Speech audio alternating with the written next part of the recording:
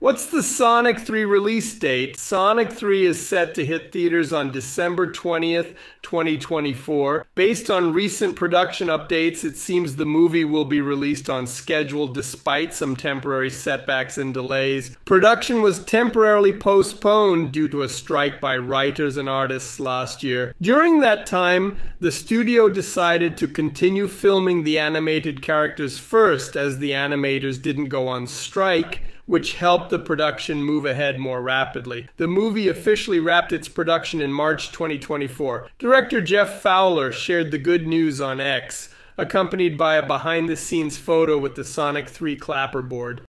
So, do you think this movie will be released on time? Did you like that release date close to Christmas? Drop a comment below. Where did Sonic 2 end? Sonic 2 concluded with Sonic triumphing over Dr. Robotnik in an epic showdown, leaving the villain's fate uncertain. Having transformed into Super Sonic, he ultimately reverted to his normal state.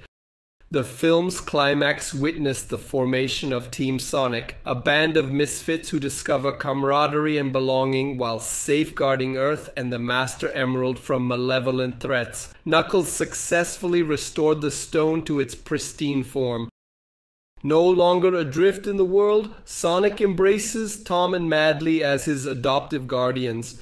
He and Tails form an unbreakable bond of friendship and fraternity while Knuckles joins their alliance. As for Dr. Robotnik, a post-credits scene hints at Eggman's possible survival as his physical remains are nowhere to be found. Sonic's official Twitter account has also alluded to Robotnik's continued existence, posting a cryptic video with the caption, You thought I was gone, but I just went underground. What you've seen of me is but a shadow of what's to come.